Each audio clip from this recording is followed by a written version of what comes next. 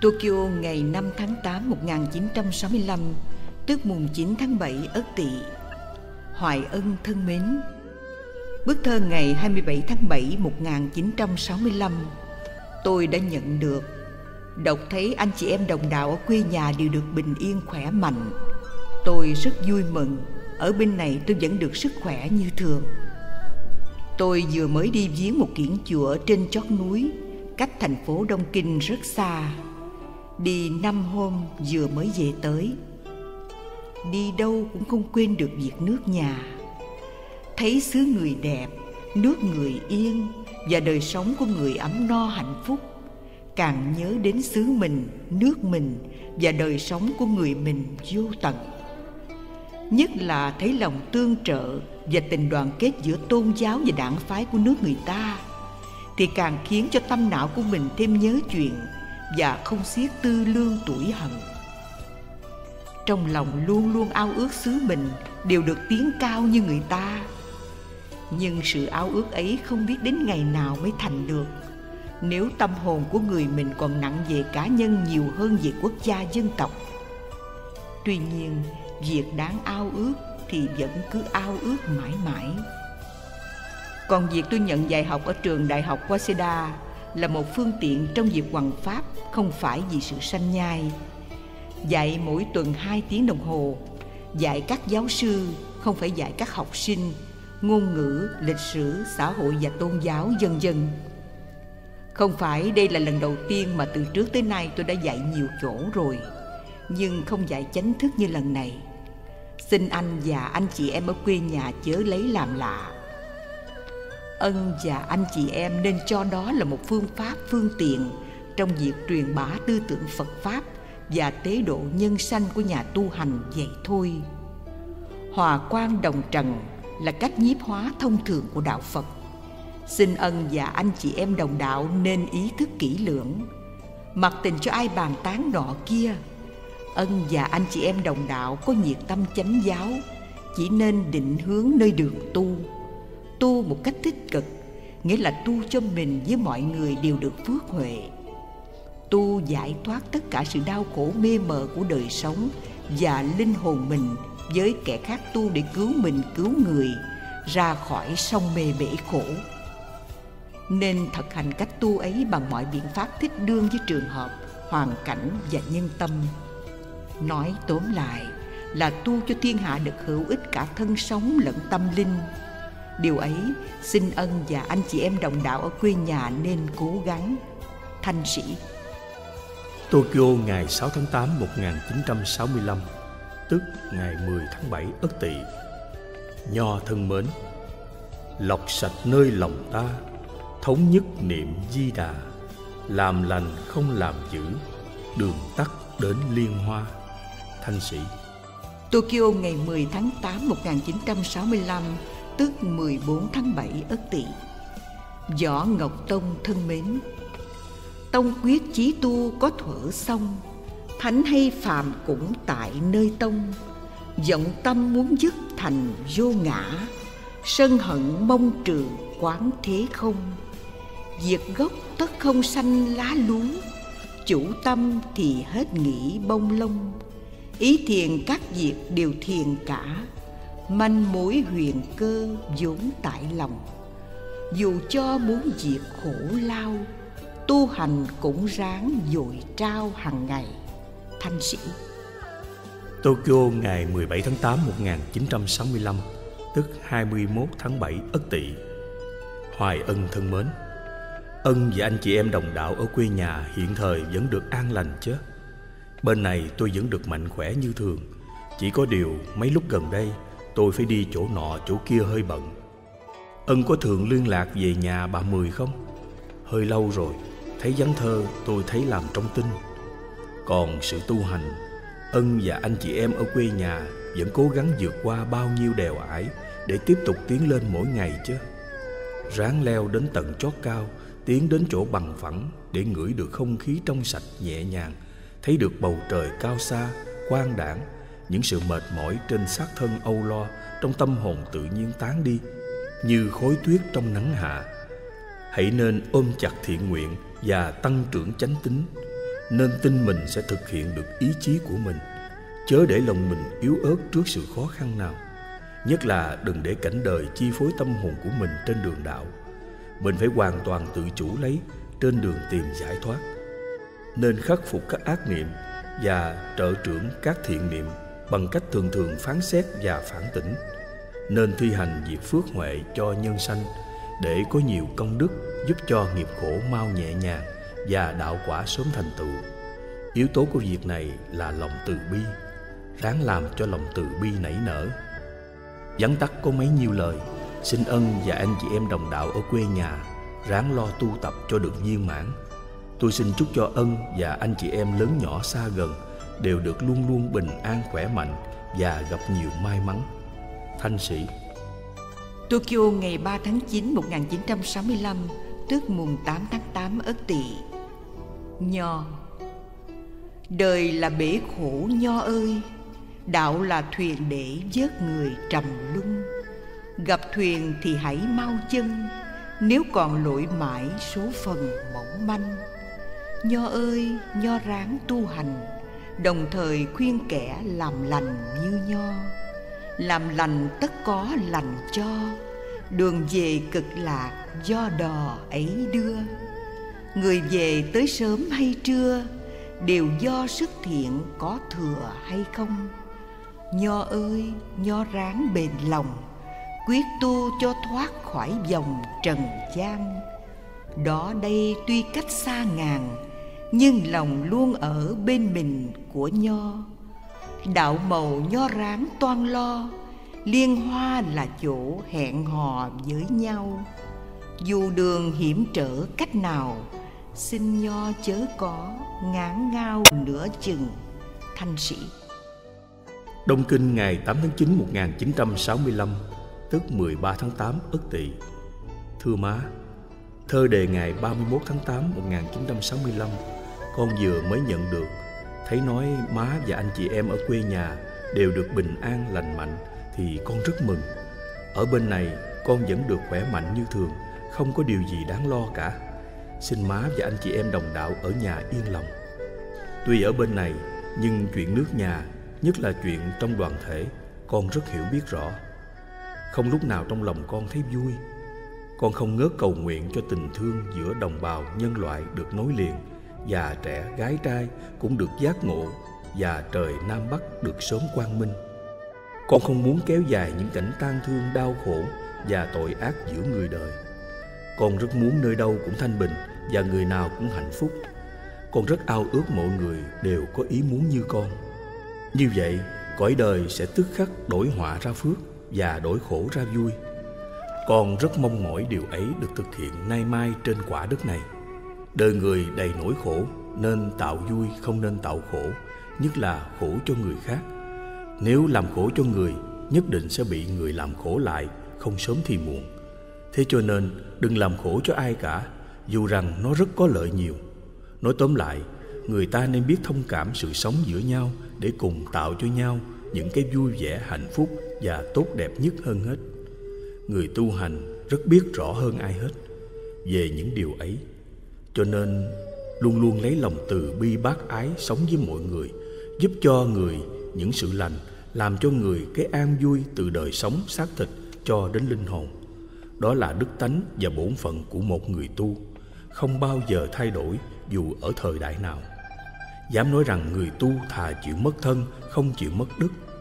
Đứng trước phước huệ của người đời, chẳng hề ngần ngại hoặc tiếc rẻ một việc nào cả thương và giúp người với tất cả tấm lòng chân thật và nhất nguyện.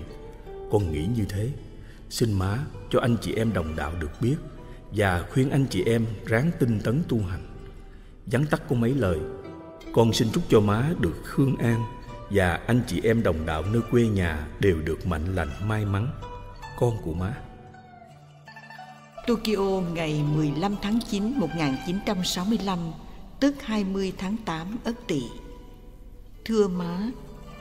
Độ này ở Nhật bị bão liên tiếp ở các nơi miền quê. Dân chúng rất nhiều người chết. Nhà cửa bị cuốn lôi sụp đổ Và mùa màng cây trái bị thiệt hại rất nặng. Nhưng Đông Kinh chỉ mưa to gió lớn Không bị thiệt hại gì lắm. Xứ Nhật mỗi năm đều có thiên tai, luôn thiệt hại nặng nề, không kém gì tai nạn chiến tranh. Đó cũng là số hệ của dân Nhật, kể ra cũng lấy làm tội nghiệp. Nhưng trời kêu ai thì nấy dạ, không ai thay thế cho ai được. Luật trời không thấy nhưng mà rất nghiêm khắc, có thể nói là không để lọt một con kiến. Khoa học giỏi đến đâu đi nữa, khi nạn trời đến thì cũng chịu phép không thể đương cự trốn tránh được cho nên ở đời chớ khi trời mà mắc đời có văn minh người có tài trí đến mức độ nào đi nữa, thì cũng nên tin có luật trời để chế ngự những ngôn ngữ tư tưởng và hành động xấu xa tội ác là tốt nhất. Còn nói gì nếu người biết mở lòng nhân và làm việc thiện chí, càng quý báu vô cùng. Nếu được như vậy, dù luật trời có nghiêm khắc thế mấy, cũng không thể nào quở phạt được. Trái lại, còn có bổn phận phải che chở ủng hộ cho người khác nữa chí công là thế, đối với ai cũng như vậy. Má có nghĩ như vậy không? Xin má cho anh chị em đồng đạo ráng tu hành chân chánh, làm ăn lương thiện, đừng cạnh tranh những việc bất lương. Nên nghĩ đến cái hậu quả, chứ nên buông ba theo cái hiện tại.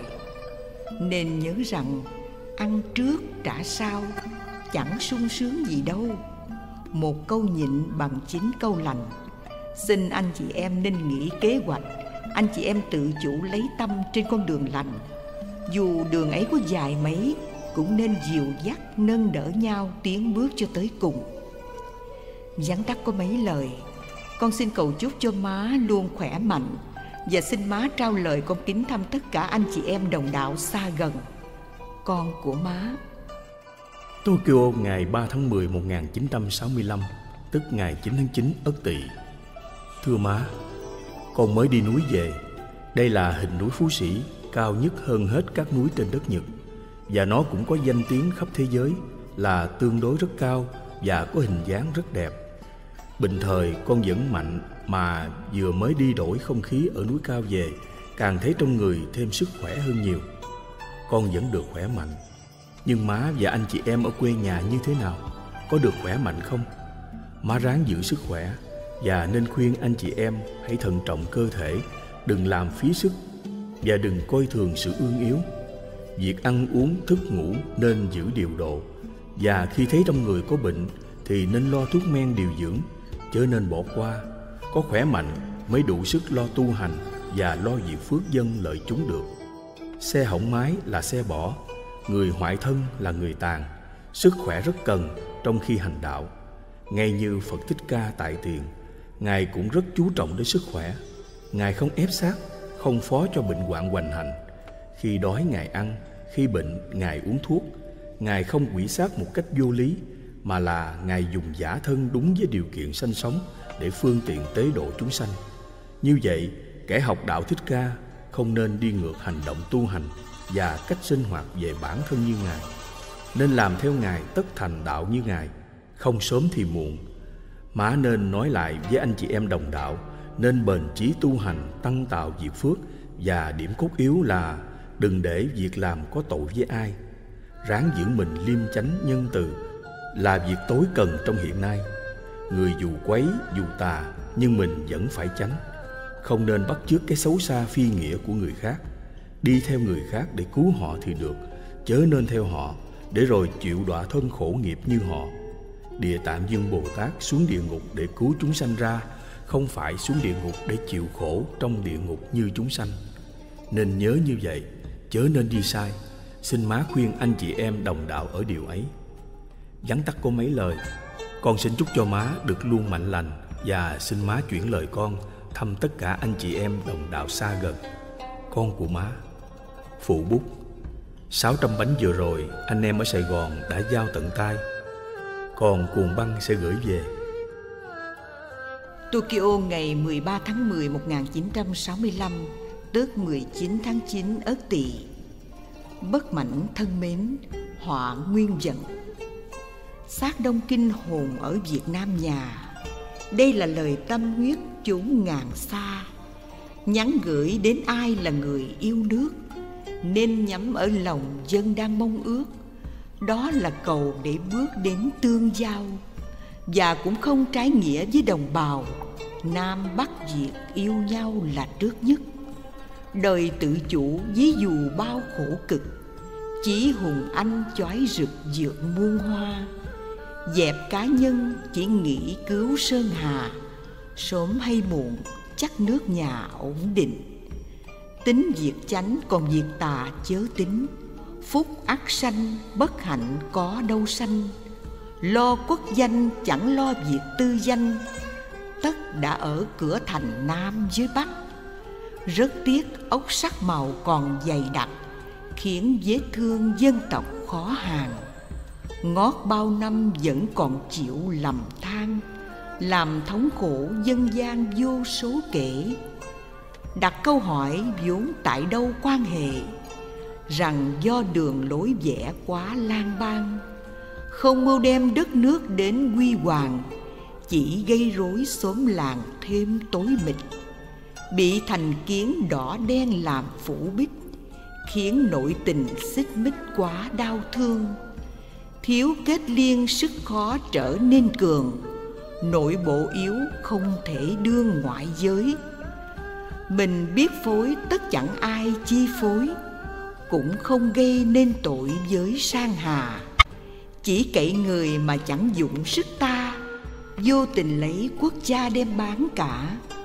Quyền không có gì là dương bá, chẳng khác chi con cá chậu nằm trong tai hại thay. Khi nghĩ đến giống dòng, biết bao kẻ vẫn còn trong mơ ảo. Chẳng màng chi nước nhà ai lộn đảo nông nổi là xương máu nhuộm thành trì. Chính tại người chẳng phải tại thế thì, chớ nhắm mắt đổ trách gì thời thế. Biết phải trái, ấy là giai quan hệ. Quân chánh tà thì vô kế khả châm. Giống đem rang đâu có lý mọc mầm. Ngược dân ý, không thể làm hưng quốc. Mối hiểm họa chỉ cách trong gan tất là người xem như việc của tha nhân. Chắc tổ tiên không khỏi phải căm hờn trách con cháu tinh thần còn cổn cản lục đục mãi quốc gia còn nứt rạn, ngao cọ luôn chỉ ép mạng vào tường. Học sách nào cứ dở dở ương ương, chẳng được tiếng đời đáng thương tội nghiệp. Nên tự giác để cải lương cần kiếp, hòa mình nhau cứu nước cứu dân ta nếu thật tâm yêu quý nước non nhà, thì huynh đệ phải trên hòa dưới thuận. Về thực tế, chính đó là bằng chứng, tỏ ra mình quốc giận biết sùng tôn. Nước với dân nhất định phải chung tồn, xây độc lập tự do đồng hưởng thọ. Thanh sĩ. Tokyo ngày 15 tháng 10 1965 tức 21 tháng 9 Ất Tỵ. Hoài ân thân mến, Muốn giấc cho yên, khó ngủ yên. Bật đèn ngồi dậy, mượn ngòi nghiêng. Thơ đề ít chữ, khuyên quê quán. Bút vẽ vài câu, nhắc xóm riền. Phước cứu khổ thân nên cố gắng. Huệ trừ mê nghiệp, ráng cần chuyên. Mỗi ngày qua, thấy đời thêm mỏng Muốn khỏi tan thương ẩn mái thiền. Mái thiền âm dương Không khí đầy tình thương Cứu người khỏi sanh tử. Người nên thể nguyện nương Nương chánh giác Cầu giải thoát Mình và người về cực lạc. Giảng tắt có mấy lời Tôi xin chúc cho ân và tất cả anh chị em đồng đạo lớn nhỏ ở quê nhà đều được khỏe mạnh, may mắn và sáng suốt luôn. Thanh sĩ Tokyo ngày 20 tháng 10 1965, tức 26 tháng 9 Ất Tỵ. Phật đông số đếm vô cùng, vị nào cũng rất đại hùng đại bi, dám bỏ những điều gì khó bỏ, quyết làm nên việc khó thể làm. Lòng thương rộng đến bao hàm, tay trần cứu khỏi nghiệp phàm độ qua dưới mắt thấy người ta bình đẳng trong lòng suy tánh mạng như nhau, hại người tâm chẳng nỡ nào, giúp người là việc không bao giờ từ. Ngàn xưa cũng vẫn như nay vậy, Phật mười phương thế giới một tình. Vì người vui bỏ đời mình, Không vì mình để bất bình với ai. Kẻ học Phật điều này nên nhớ, Người tu hành việc đó khá trì. Quy y thì phải làm y Chớ làm trái ngược những gì Phật khuyên. Y Phật dạy bình yên thế giới, Y Phật khuyên tội lỗi tiêu tan. Hỡi người trong cõi thế gian, Không nên đi ngược con đàn Phật khuyên. Thanh sĩ. Tokyo, ngày 21 tháng 10 1965 Tức 27 tháng 9 Ất Tỵ. Chính tỳ thân mến, Người thương ta rất thương người, Thương tình Phật Pháp hơn đời tình thương. Phật duyên xưa nếu chẳng dương, Nay không thể gặp trên đường từ bi. Vậy thì cũng dắt nhau đi, Phen này nhất quyết thoát ly hậu trần. Thanh sĩ. Tokyo ngày 2 tháng 11 1965 Tức mùng 10 tháng 10 Ất Tỵ. Chúc thân mến, Thơ đề ngày 29 tháng 10 1965 tôi đã nhận được. Xin cảm ơn Trúc. Được biết anh chị em ở quê nhà vẫn được mạnh khỏe và vẫn cố gắng tiến thân trên đường đạo nghĩa thì tôi rất làm mừng. Riêng tôi ở bên này hiện giờ cũng được mạnh như thường, chẳng có sự gì đáng ngại. Xin Trúc và anh chị em ở quê nhà nên an tâm. Trúc, bất luận về mặt đời hay đạo, nuôi chí đã là một việc rất khó rồi mà muốn đạt chí lại càng khó khăn gấp bội chí càng lớn, sự gian khổ càng nhiều. Nếu thiếu tin tưởng, kém giác ngộ và yếu sức dẻo dai gan lì, thì cái chí ấy dễ bị mọi nghịch cảnh đánh tan. Hết sức cố gắng mà không đạt chi, không thẹn nhưng nếu để cho nghịch cảnh làm hư chí là hèn. Vậy chúc và anh chị em đồng đạo ráng nuôi chí và cố làm cho đạt chí. Cái chí tự do dân tộc, chủ quyền quốc gia và giải thoát mọi mặt thống khổ của con người. Giáo thuyết của Thích Ca chẳng những yêu quốc gia, yêu tất cả thế giới, thương người như thương ta, muốn ai cũng giải thoát, muốn đâu cũng an hòa, đem vui thay sự khổ, bất luận chỗ gần xa. Vắn tắt có mấy lời tôi xin chúc cho chúc và anh chị em ở quê nhà được luôn mạnh khỏe và gặp nhiều may mắn. Thanh sĩ Tokyo ngày 5 tháng 11 1965 tức 13 tháng 10 Ất Tỵ Hoài ân thân mến. Tâm vọng còn nhiều lỗi dễ sanh, Sớm chiều nhớ luyện tấm lòng thanh, Giảng kinh ráng nghiệm cho thông lý. Công đức cần trao để trọn lành, Đạo hạnh chớ rằng trong chốc lát. Tu thân đừng tưởng chỉ đôi canh, Nguyện làm sao được như lời Phật, dù phải bao lâu dạ cũng đành. Thanh sĩ. Tokyo ngày 6 tháng 11 1965 tức 14 tháng 10 Ất Tỵ Hoài ân thân mến Độ này ân và anh chị em đồng đạo xa gần ở quê nhà được bình yên khỏe mạnh như thường không? Tôi bên này cũng vẫn mạnh khỏe, chẳng có sự gì đáng lo. Xin ân và anh chị em ở quê nhà nên an lòng. Còn việc tu hành đạo lý Đa số anh chị em trong đạo hiện giờ có sự tiến thối như thế nào? Ân và anh chị em ráng duy trì đạo hạnh trên đường chân chánh. Nên bắt chước những việc tốt lành của hiền thánh, đừng bắt chước những sự xấu xa của con người. Dù ở trong tình trạng cực kỳ khiêu khích của cám dỗ, Ân và anh chị em ráng tu luyện cho tư tưởng ngôn ngữ và hành vi được cùng hòa nhịp vững chắc, trên lẽ từ bi đại đồng và siêu thoát dục vọng thế gian – Thật là tín đồ Phật giáo hòa hảo Phải tu hành như thế đó Mới đúng chân truyền Ân và anh chị em ráng phương tiện trao sữa Cho được đến chỗ trọn lành, trọn sáng. Ở bên này lúc nào tôi cũng mong mỏi như thế. Vắn tắt có mấy lời, Tôi xin chúc cho anh và anh chị em ở quê nhà Đều được mạnh lành, may mắn. Thanh sĩ. Tokyo ngày 12 tháng 11 năm 1965 Tức 20 tháng 10 Ất Tỵ. Thưa má Má và anh chị em đồng đạo gần xa vẫn được mạnh lành hay có sự gì thay đổi không? Ở bên này con vẫn được mạnh như thường Tuy mỗi tuần phải đi giảng bài cho các giáo sư ở trường đại học Và còn phải làm nhiều công việc khác nữa, Nhưng vẫn chia thì giờ để đi giếng chỗ nọ, chỗ kia, gọi là danh sơn thắng cảnh ở các địa phương trên đất Nhật. Mấy bức ảnh này cũng ở trong chỗ danh thắng ấy. Ở Tokyo bữa nay cũng đã trở lạnh khá nhiều rồi. Vừa rồi con đã mua được một cái máy nước nóng, một đôi dép sưởi và mua thêm một số đồ ngự hàng trong mùa đông này. Như vậy, mùa đông năm nay khỏi lo nước lạnh nhói đến tim và chân lạnh tê cả người. Xin má và anh chị em ở quê nhà nên an tâm. Thưa má, còn việc đạo lý lúc này cũng như lúc nào. Má, anh chị em đồng đạo ráng nắm tay nhau, tùy thời cơ, tùy phương tiện để tiến tới chỗ trọn lành, trọn sáng. Đừng bắt chước thoái tệ của đời. Đừng để sự vật thế gian cám dỗ và đừng nao núng những cái khó khăn cay đắng của cuộc thế và của lòng người giữa anh chị em đồng đạo, nên chăm sóc lẫn nhau, nên khuyến khích cho nhau ở những công việc tốt lành và nên can dứt cho nhau ở những điều bất thiện cố giúp đỡ lẫn nhau được tăng trưởng đạo tâm ráng tránh những hành động ngôn ngữ có thể khiến cho nhau suy mòn tánh đạo. Cùng giúp nhau được tốt là chánh, dù rằng rất khó làm. Vui cùng chia nhau vui, khổ cùng chia nhau khổ, đó là tình đồng đạo, đồng tông. Những điều này xin má nên chuyển đến tất cả anh chị em để suy nghiệm.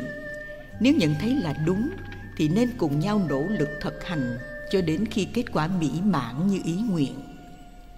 Đạo lý không phải là chỉ để nói suông hoặc để trưng bày cho có hình thức, mà là để thi hành thật sự, thi hành đúng như nội dung của giáo pháp. Thế cho nên anh chị em đồng đạo ở quê nhà ráng cùng nhau thực hiện cái giáo lý của chính mình đang tôn thờ. Nếu không đúng mười, cũng ráng cho được năm ba, chứ để thờ cho lấy có khiến cho thiên hạ mỉa mai, và chính trong lòng mình cũng không khỏi thẹn thùa xấu hổ. Huống chi, nếu muốn giải thoát kiếp mê khổ hồng trần, thì càng cần phải đem hết tâm lực ra lo việc tu hành đạo đức, không nên thờ ơ sao lãng lúc nào cả. Vắn tắt có bao nhiêu lời? Con xin cầu chúc cho má và anh chị em đồng đạo ở quê nhà đều được dạng an. Thanh sĩ. Tokyo ngày 19 tháng 11 năm 1965 tức 27 tháng 10 Ất Tỵ Hoài ân thân mến Bức thơ đề ngày 14 tháng 11 1965 của ân tôi đã nhận được hồi trưa này. Được tin ân và anh chị em ở quê nhà đều được an lành thì tôi lấy làm yên trí nhiều lắm. Ở bên này tuần nào cũng phải đi giảng bài cho các giáo sư trường đại học, phải dùng nhiều việc và phải đi tham quan nhiều chỗ. Nhưng tôi vẫn được khỏe mạnh như thường, không có sự gì thay đổi đáng lo cả. Xin ân và anh chị em ở quê nhà nên an lòng chuyện nước, cảnh nhà và tình người ở chốn quê hương, tôi luôn luôn theo dõi và rất biết nhiều. Tất cả đều nằm liệm trong cái đau buồn, không riêng tôi mà những ai nếu có lưu tâm đến có lẽ cũng nhận thấy như vậy. Nhưng kết cuộc đâu sẽ ra đấy. Tạo quá chí công định luật nhân quả và sự đào thải thiên nhiên không bao giờ sai chạy. Tôi tin chắc như thế. Do đó tôi rất lấy làm tội nghiệp những phần tử sâu bọ trong xã hội và những con người nhơ bẩn trong tôn giáo. Cái gì họ làm ra, cuối cùng nó trả lại cho họ, dù họ có tài cán lực lượng đến đâu cũng không thể trốn khỏi. Những hành vi bạo ác xấu xa của họ chỉ làm cho mau tiêu mòn đời sống và linh hồn của họ mà thôi.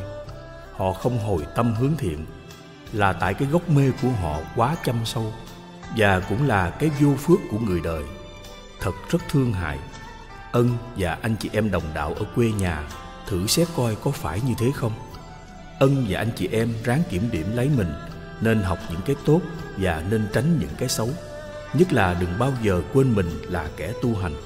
Lúc nào cũng vẫn noi chân lý và dựa theo đức tánh từ bi để nghĩ ngợi, nói năng và làm lụng. Nghĩ phước lợi cho người nhiều hơn nghĩ cho mình. Anh chị em nên rõ các điều ấy vắn tắt có mấy lời, tôi xin chúc cho ân và anh chị em đồng đạo ở quê nhà đều mạnh lành và tu hành bao tỏ ngộ thanh sĩ, phụ bút bánh trái có nhiều thì xài nhiều, ít thì xài ít, lúc nào cũng ngam ngám không có lúc nào chờ chở, xin người nhà hiểu cho. Tokyo ngày 29 tháng 11 1965, tức mùng 7 tháng 11 Ất Tỵ. Hoài Ân thân mến, Ân và anh chị em ở quê nhà có được an lành không? Riêng tôi ở bên này vẫn được khỏe mạnh, dù là độ lạnh mỗi ngày được lên cao. Tuần nào tôi cũng phải đi giảng dạy ở trường đại học thấy hơi mệt, nhưng trên công tác từ thiện nên tôi vẫn vui vẻ cố gắng. Mục đích làm sao cho người ta cũng được lãnh hội tâm niệm từ bi giải thoát ấy là điều mong mỏi nhất của mình. Đời tôi chỉ có thế thôi, lúc nào cũng vậy, tôi không bao giờ thay đổi. Tôi rất hy vọng ân và anh chị em ở quê nhà đều được cảm thông và được nối liền ý chí ấy. Tu cho mình, cho người, tu cho hết khổ đời tu giải mê bá tánh tu chẳng bao giờ thôi. Vắn tắt có mấy lời, tôi xin chúc ân và anh chị em ở quê nhà đều được dạng sự an lành. Thanh sĩ. Tokyo, ngày 4 tháng 12 1965 tức 12 tháng 11 Ất Tỵ. Ớ kẻ gần xa. Ớ kẻ gần xa ở xứ nhà. Ngày giờ chớ để phí trôi qua, lập công kẻo mất thời gian tính hành thiện để cho kịp tuổi già. Nước lấy hưng an ra đối đáp, người đem phước huệ để phôi pha. Song tu phật đạo và nhân đạo, ở kẻ gần xa ở xứ nhà. Thanh sĩ. Tokyo ngày 6 tháng 12 1965 tức 14 tháng 11 Ất Tỵ. Tặng Úc Quyền, em gái bà Phổ. Khi vọng tâm nên ngắm cảnh này tin như phật thật hiện ngồi đây, dẹp qua tánh xấu thay lòng tốt, gác bỏ niệm tà, đổi tưởng ngay. Thân giữ đoan trang hầu phật tổ, hạnh dình trong sáng lễ như lai. Phát tâm như thế, hành như thế, toàn thiện toàn minh sẽ có ngày. Thanh sĩ. Tokyo ngày 6 tháng 12 1965 tức 14 tháng 11 Ất Tỵ. Hoài ân thân mến Độ này anh và anh chị em ở quê nhà có được mạnh lành không? Hiện thời ở bên này vẫn được sức khỏe như thường. Không có điều gì thay đổi đáng lo. Xin ân và anh chị em ở quê nhà nên yên lòng. Hiện ở Đông Kinh đã lạnh khá nhiều rồi, Nhưng năm này tôi vừa sắm thêm một số ít đồ phòng lạnh, Chắc được đỡ khổ hơn những năm qua. Ở xứ có bốn mùa Mùa nào cũng có đủ thiết bị cho mùa nấy. Thật là phiền phức. Gia đình nào cũng phải sống như vậy, Không ai làm khác hơn được. Người ở xứ nóng kinh niên như xứ mình, Nếu không đi ra ngoài này lần nào Thì có lẽ không tưởng tượng được Cách sinh hoạt ở bên này như thế nào đâu.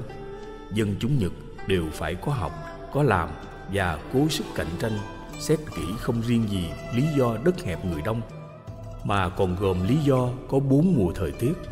Bất luận người nào lọt vào đất đai này sống chung đụng với người Nhật, hầu hết đều phải làm như họ cả. Ví dụ khi bước ra đường, phải vừa đi vừa chạy cho kịp giờ.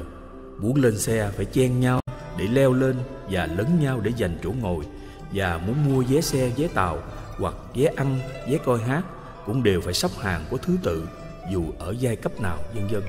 Đó là chuyện hàng ngày của người Nhật. Thôi, câu chuyện này hãy dừng lại đây đi. Bây giờ xin hỏi qua vấn đề đạo đức ở quê nhà hiện thời. Sự tiến thối của hầu hết anh chị em đồng đạo như thế nào? Tôi không ngớt lo nghĩ đến. Và lúc nào tôi cũng hy vọng cho ân và anh chị em trong đạo. Đều cố tiến chớ để cho lùi. Tiến là phước, lùi là quả. Tiến là siêu, lùi là đọa. Ráng tiến trên con đường đạo đức và lương thiện Là an toàn nhất cho thân sống và cho linh hồn. Cuộc đời đầy khổ đau và tội lỗi, Nên nhất trí lo cải thiện và cởi mở, Chứ nên trói buộc tạo thành thêm. Hãy nhìn kỹ và xét rõ sự đời Để tránh những hành động bạn dục tương trì Và giả tràng xe cát. Mỗi việc nên hành động bằng trí đạo. Tôi xin khuyên như vậy. Xin chúc cho ân và tất cả anh chị em đồng đạo ở quê nhà đều được an lành. Phụ bút, Khi có thì giờ Tôi sẽ nói vào băng mà gửi về Thanh sĩ Tokyo ngày 15 tháng 12 1965 tức 23 tháng 11 Ất Tỵ. Chúc thân mến, đồng đạo trước sau vẫn một tình, dù cho trời đất có nghiêng chinh, càng yêu với nghĩa yêu cao thượng, đồng giúp bằng tâm giúp bạch trinh. Hiện tại hẹn hò câu hạnh phúc, vị lai cam kết chữ siêu sinh. Trên đường đạo cả chung vui tiếng đạp gốc gai theo chí nguyện mình. Thanh sĩ. Tokyo ngày 3 tháng Giêng 1965 tức 12 tháng 12 Ất Tỵ. Hoài ân thân mến Trích đoạn chót. Hôm nay là mùng 3 Tết Nhật như thường lệ Nhà nào cũng treo bùa nêu. Ngoài đường có rất nhiều phụ nữ mặc áo kimono, Búi tóc kiểu Nhật và dắt trăm tầm tuổi đủ màu, Có vẻ thuần túy Nhật bổn hơn những ngày thường. Tết trong thành phố Đông Kinh, chỉ có các tiệm ăn và tiệm cà phê thì mở cửa, Còn các cửa hàng khác đều nghỉ hết. Đa số dân chúng về ăn Tết thôn quê với bà con thân quyến, Nên trong thành phố Tokyo kém phần đông đảo hơn thường Nhật. Phong tục người Nhật gần cuối năm Giữa người quen thân lo mời mọc lẫn nhau để đãi đằng Và mua đồ để biết nhau, gọi là quà trung niên. Kế đó người nào cũng lo mua sắm ít nhiều đồ Tết. Các tiệm quán Nhật và các cửa hàng lớn đều đông nghẹt. Người nào người nấy có vẻ nôn nao Và trên các đường phố rất là rộn rịp. Tết Nhật đang như thế, Nhưng Tết Việt Nam sẽ ra sao? Nếu còn trong cảnh khói lửa, Càng nghĩ tới càng buồn. Nhưng cảnh nào thì cảnh, Cuối cùng Việt Nam vẫn là Việt Nam. Nước Việt Nam không thể mất, Tôi tin chắc và quả quyết như vậy. Ân, Ở quê nhà Ân và anh chị em Tuy gặp nhiều cảnh éo le gian khổ, Nhưng hãy cùng nhau tay nắm tay, Lòng dặn lòng, Không rời phạm vi đạo đức Và đường lối tu hành. Ráng lo tròn bổn phận đời và đạo. Đời phải có nghĩa, Đạo phải cho có nhân. Nhân thật là nhân Nghĩa thật là nghĩa. Nghĩa nhân của hàng Phật tử, Tức là từ bi chí thiện, Nó quảng đại hơn thứ nghĩa nhân Mà người đời thường định nghĩa. Vậy ân và anh chị em ở nhà, Khi mình là người tu hành đạo đức, Thì hãy cố gắng thi thố cái nhân nghĩa ấy Cho người đời đó đây được nhờ. Nói trên lẽ sanh tồn của xác thân Và tịch diệt của linh hồn. Hàng tốt giá cao, Lời to thì vốn lớn. Muốn nên việc cao siêu Tất phải chịu khó nhọc và hy sinh nhiều. Xin ân và anh chị em lớn nhỏ Nên xét đến điều đấy. Vắn tắt có mấy lời, Tôi xin chúc cho ân và anh chị em đồng đạo ở quê nhà Đều được luôn luôn khỏe mạnh và sáng suốt. Thanh sĩ. Tokyo ngày 4 tháng Giêng 1966 Tức 13 tháng 12 Ất Tỵ. Thanh tịnh lòng không khổ, xác phàm. Sĩ phu từ buổi cách trời nam. Kính người hiền đức không hề chán, Thăm kẻ chân tu chẳng chút nhàm. Đồng nguyện chúng sanh tiêu khổ ách, Đạo cầu thế giới hết bi kham. Quê hương xin giữ lòng son sắc, Nhà Phật từ bi cố gắng làm. Thanh sĩ. Tokyo ngày 4 tháng Giêng 1966 Tức 13 tháng 12 Ất Tỵ. Dài lời. Dài lời gửi giữa cuồng băng. Trước là thăm mẹ, Sau thăm xóm làng. Tôi ở chốn xa ngàn vẫn mạnh. Người quê nhà ấm lạnh thế nào? Tuy là hình bóng xa nhau, Nhưng lòng dạ chẳng phút nào lãng quên. Thường cầu nguyện ơn trên trời Phật, Độ mẹ già, độ khắp gần xa, Độ cho thạnh nước an nhà Độ cho nạn khỏi tai qua dân lành. Noi xứ lạ nghe tin mỗi bữa, Thấy chuyện nhà bắt ứa ruột gan. Nhiều đêm thức suốt canh tàn, Đau lòng ôm chịu biết bàn với ai. Băn khoăn cảnh hiện nay đất nước, Lo lắng ngày mai mốt đồng bào. Được an vui hoặc khổ đau, Không do trời khiến do nhau tạo thành. Sáng suốt khỏi mang danh nô lệ Ngu muội thì làm kẻ ngựa trâu, Khó khăn chớ chẳng dễ đâu. Mỗi khi nghĩ đến ôm đầu thở ra, Việc nước ở quê nhà trắc trở, Sự tu nơi xứ sở gây go, Ít ai vui chịu chung lo. Nhiều người chỉ muốn mưu cho riêng mình, liêm sĩ thiếu, chân tình cũng thiếu, đạo nghĩa không, trung hiếu cũng không. Mỗi người riêng mỗi tấm lòng, mạnh ai nấy liệu cách phòng lấy thân tiền bạc khiến nghĩa nhân rẻ mục, lợi danh làm đạo đức khô khan. Nhìn bề mặt trái thế gian, thấy đời dị mộng đồng sàng mà kinh.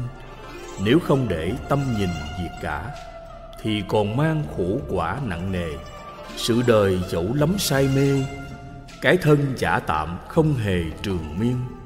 Thân khi hết, quý quyền cũng hết, vật dẫu còn người chết phủi đi hơn nhau thử hỏi cái gì? Đời thì danh chánh, đạo thì nghĩa chơn. Danh chánh được, thế nhân khen ngợi. Đạo chơn thì hồn khỏi đọa xa chánh danh thì cũng tạm là. Chỉ chơn đạo mới thật qua khổ sầu. Người sang sống nơi đâu bất luận, mang sát phàm đều cũng như nhau.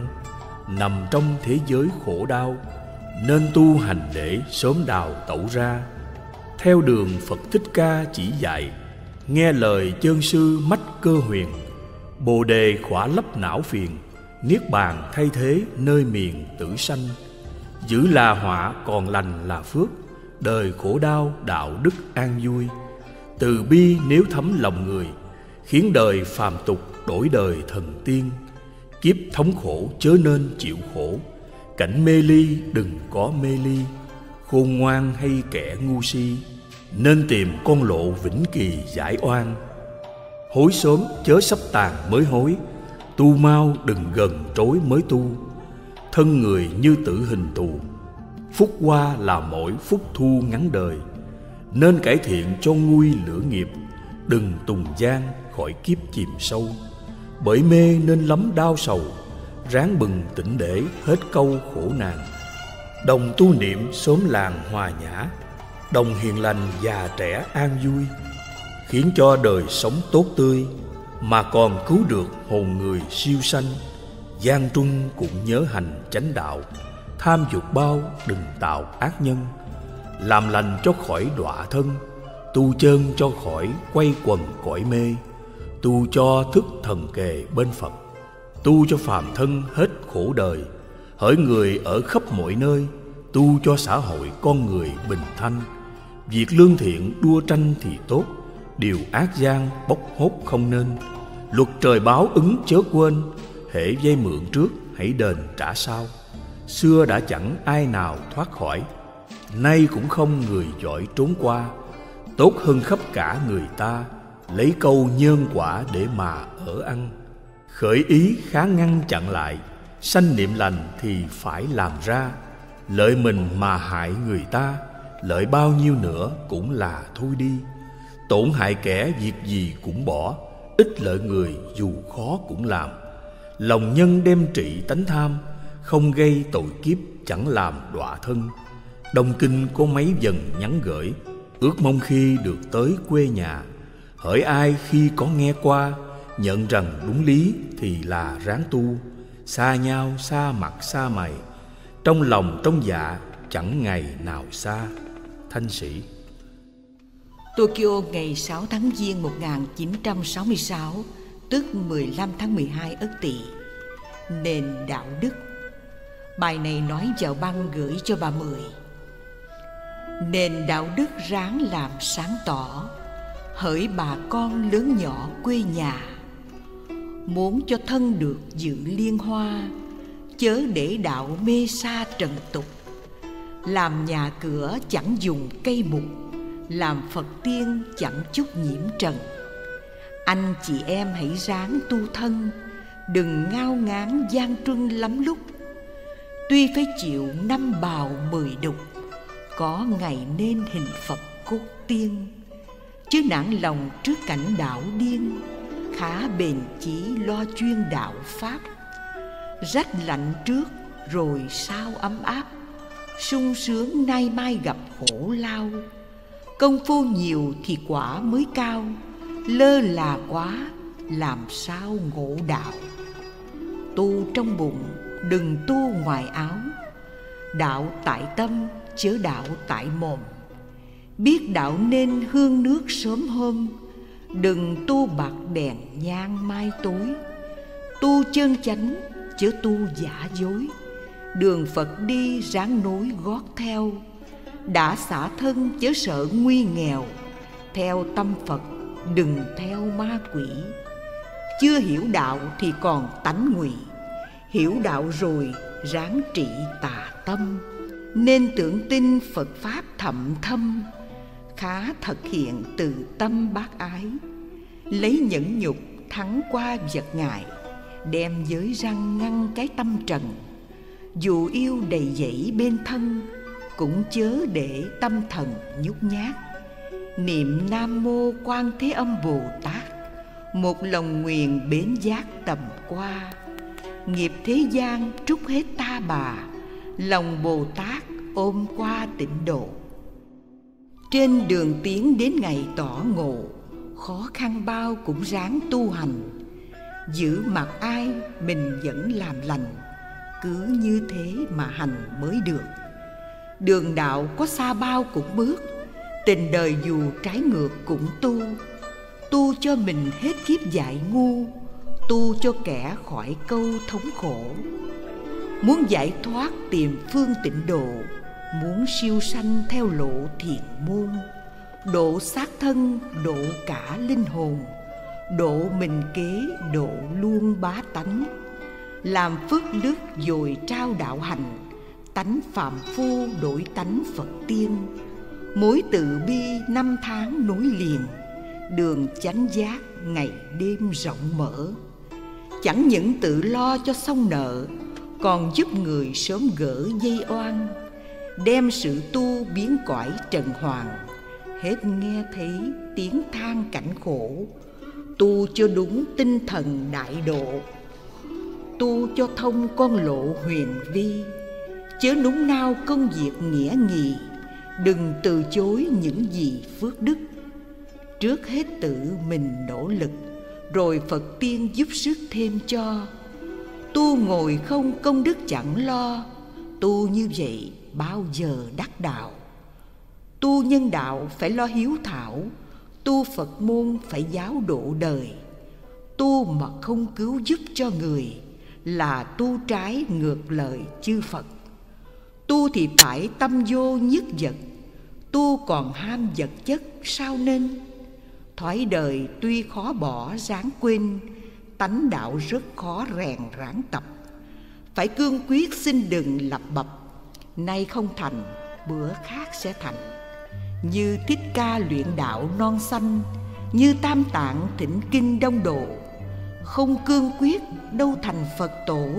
Không nhất tâm, đâu ngộ như lai. Người xưa kia như thể người nay, thành đạo chẳng một ngày mà được. Tiên thánh cũng thăng trầm bao lượt, cố gắng tu hết sức mới thành ít có ai bữa trước mới hành, bữa sau được nên danh bồ tát. Người thường trước có nhiều tội ác, kém tu không đủ sức tiêu trừ. Phải làm cho công đức có dư, tội ác hết chơn như mới tỏ. Muốn lúa tốt phải làm sạch cỏ, muốn tánh minh phải bỏ lòng tà. Nếu lưng chừng nửa phật nửa ma, đến chết cũng không ra gì cả nói thiên cơ mà không hối quá, rốt cuộc rồi như cá mắc câu. Hội phật tiên chẳng dễ gặp đâu, muốn gặp phải công phu dài dặn. Hội tiên phật, người nào giữ đặng tự nhiên người ấy chứng quả rồi. Tu lưng chừng hoặc đạo lôi thôi, khó mong dựa chính ngôi sen báo. Hỡi tất cả anh em trong đạo hỡi bà con lão ấu gần xa. Ráng thành tâm hành đạo thích ca. Ráng thật ý tạo ra phước đức.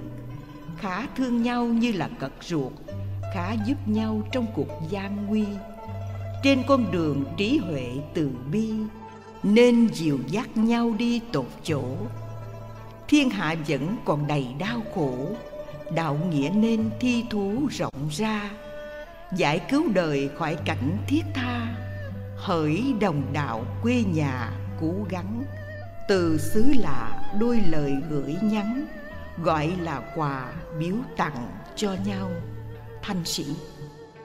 Tokyo, ngày 8 tháng Giêng 1966 tức 17 tháng 12 Ất Tỵ Vọng Xuân.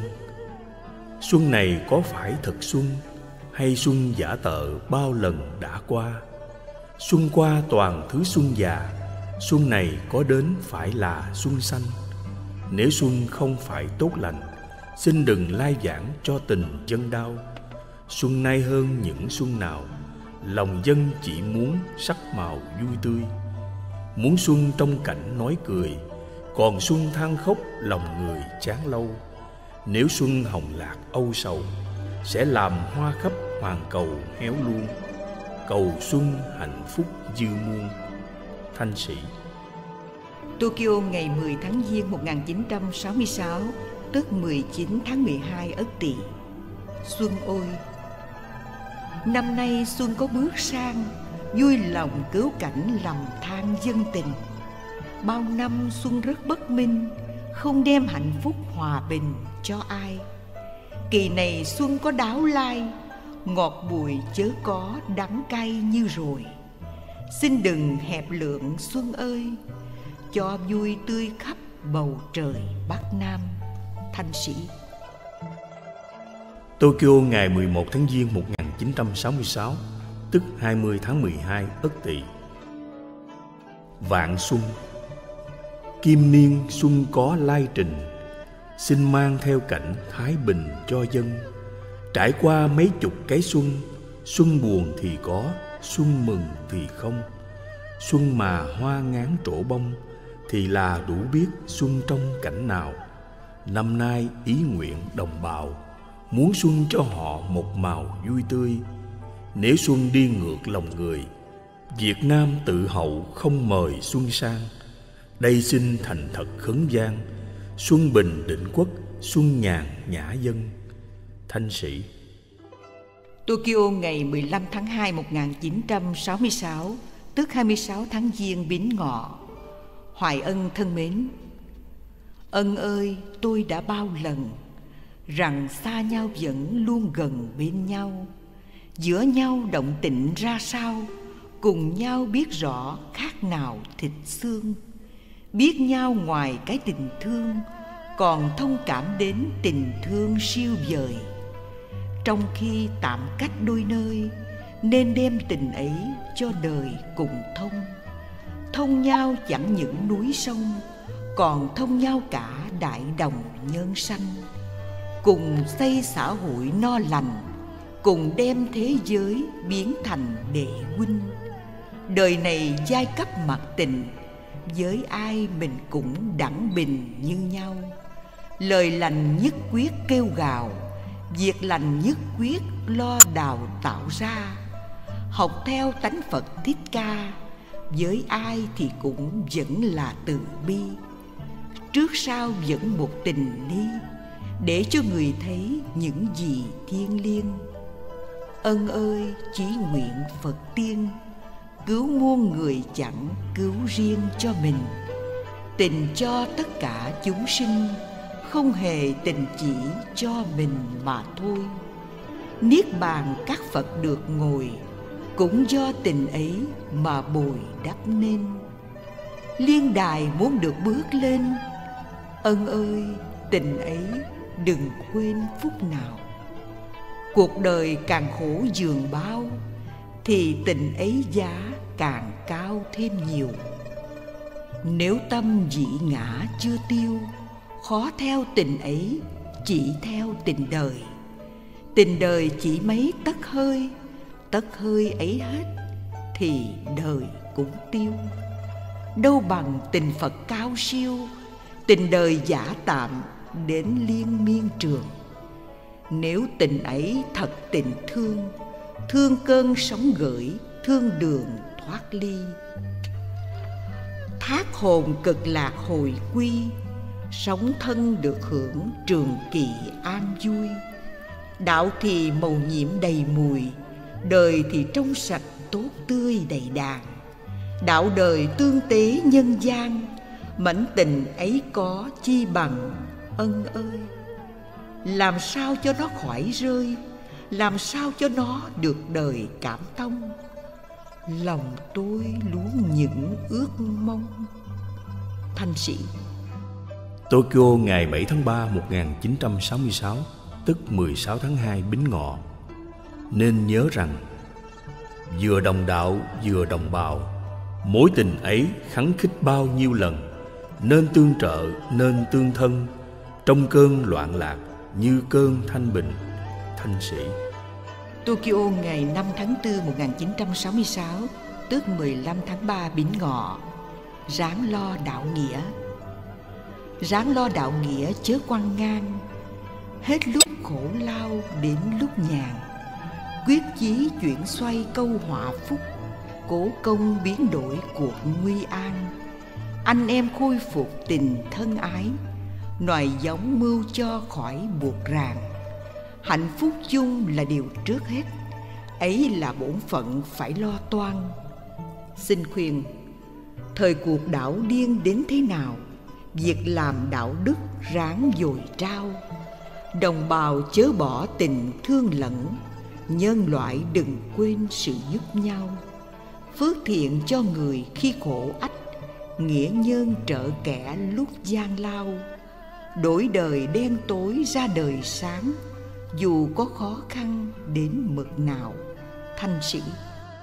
Tokyo ngày 13 tháng 4 1966 tức 23 tháng 3 Bính Ngọ, Trường thân mến, Hạt ré tai nghe tan tục lụy, Phướng vàng mắt thấy hết trần ai. Điểm này sẽ có một ngày, Chậm mau do kẻ mỏng dày công tu, Thanh sĩ. Tokyo năm 1966 Ba chất. Ông chất ở xã Long Kiến. Thanh tịnh được lòng tức huệ khai. Sĩ nhân hành đạo phải bền dai, Thân cầu mình khỏi điều mê khổ, Tặng giúp người tan cảnh đọa đầy Ông chớ núng nao cơn thử thách, Bạn đừng chán nản lúc trong gai. Văn thơ khuyến thiện làm theo đúng, Chất được duyên sang cõi Phật Ngài. Thanh sĩ. Tokyo ngày 13 tháng 4 1966 tức 23 tháng 3 Bính Ngọ ưởng thân mến. Cảnh nào cũng vẫn làm lành, Người nào cũng vẫn lấy tình yêu thương. Đạo màu phương tiện xiển dương, Từ bi chẳng biệt phân đường đông tây. Tỉnh người say chẳng để say, Độ người mê chẳng để gài trong mê. Đi đâu cũng nhớ đường về, Ở đâu cũng chẳng bỏ bê đạo màu. Sen vàng mọc giữa bùn sâu. Thanh sĩ